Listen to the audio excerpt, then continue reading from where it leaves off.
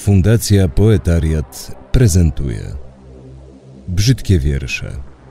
Antologia poezji turpistycznej.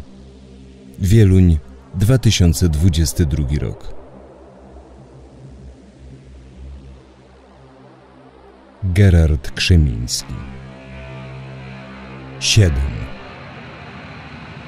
Zazdrość wznieca gniew podsycany chciwością budzi myśli nieczyste. Już tylko krok dzieli od nieprawości. Występek rodzi występek, pycha rozbudza łakomstwo, rozleniwia, pustosząc duszę już. Tylko krok dzieli od upadku.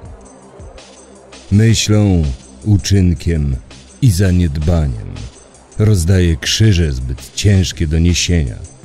Jak co roku będą stały puste po udręczonych, którzy nie wrócą z martwych.